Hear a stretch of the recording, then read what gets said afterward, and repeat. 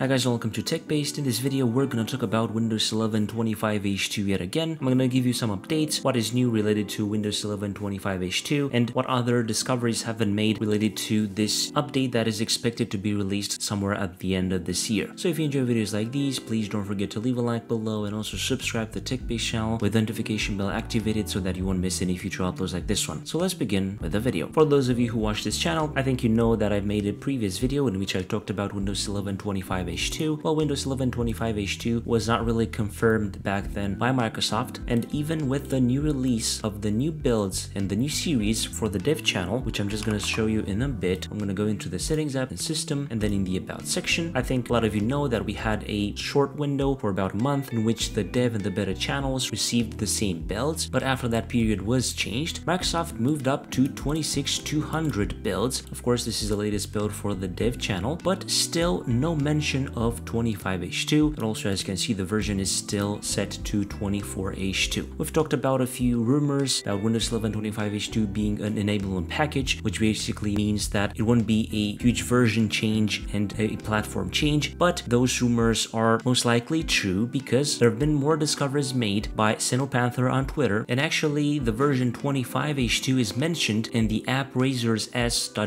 file inside Windows 11 and as you can see here we have the code GE25H2. GE comes from Germanium, which is basically the platform that Windows 11 24H2 is based on, and this most likely means that 25H2 will be based on the same platform, and we won't have a new platform change. This also means that most likely Windows 11 25H2 will be an enablement package. This will mean that new features that will be related to this new version will be slowly released in certain updates, but Microsoft will then on change the version without doing a huge update. Only the version will change after those features will be enabled, so this will make the transition to Windows 11 25H2 way easier. As I've said in the previous video, I think Microsoft is doing this because they want to make the transition for Windows 10 users to Windows 11 easier because as you know, Windows 10 will end its support this year, so I think a lot of users will try to upgrade to Windows 11 and with it not being a new platform change and most likely no big issues and bugs with it, the transition will be way easier even for users that already already use Windows 11 24H2 and for users that want to come from Windows 10 to Windows 11 25H2. So as a short recap, we have two new things. Windows 11 25H2 is now confirmed by Microsoft in some DLL files in the latest builds as discovered by XenoPanther on Twitter. Also, most likely the platform will be the same. Germanium platform will also be the base of Windows 11 25H2, which means that Windows 11 25H2 will most likely be an enablement package, a way easier update, a faster update, which won't bring any huge issues or anything like that to the Windows 11 operating system. So of course, for more information, you can check out the article below or XenoPanther on Twitter if you want to learn more about this and find out more about other discoveries that will be made about Windows 11 25H2. And if you enjoyed this video, please don't forget to leave a like below and also subscribe to the TechBased channel with the notification bell activated so that you won't miss any future uploads like this one. I was Emmanuel from TechBase. Until next time, have a nice day.